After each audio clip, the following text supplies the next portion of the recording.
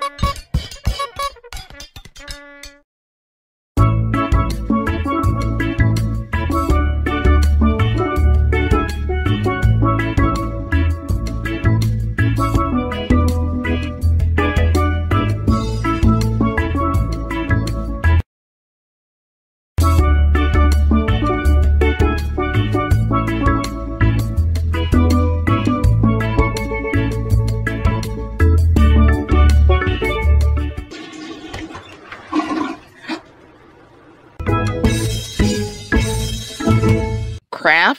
by Thee Rose. Tina is a very crafty individual.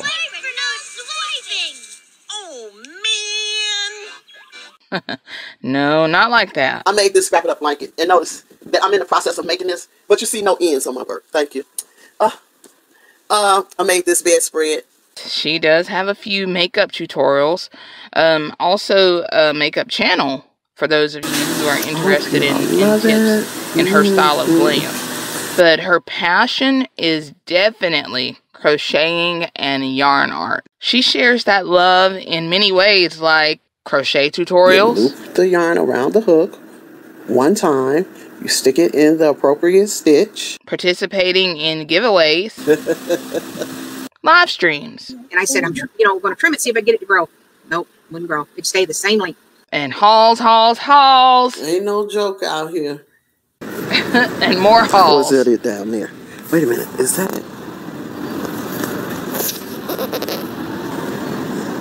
I ain't getting that one. Okay, but I got one at home, so just wanted to check. So if you're also into yarn and crochet crafts, check out Crafts by Thee Rose. Desert Family Homestead. Desert Family Homestead is eking out a garden and raising livestock in the Sonoran Desert in Arizona. How many bags that I bought because the soil that is in this bed already came out of one of my original beds. The handy dandy dirt carrying and everything else bucket. This blank area here, and it's a little dark, but goes up into here.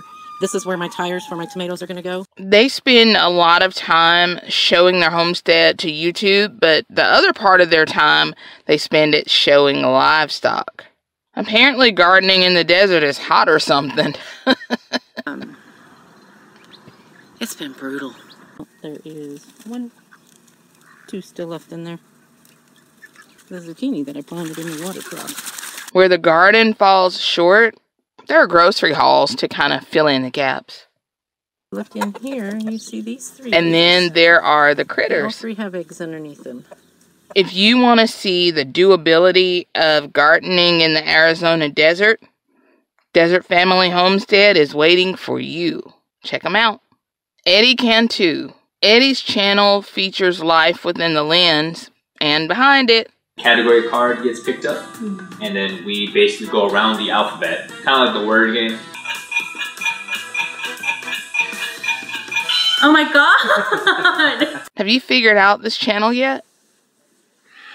All right, explain this to me like I'm a two-year-old, okay? Because there's an element to this thing I just cannot get through my thick head. Keep watching. Eddie Cantu isn't just a channel about a guy filming himself, filming himself. Wait, was that confusing? Yeah, kinda.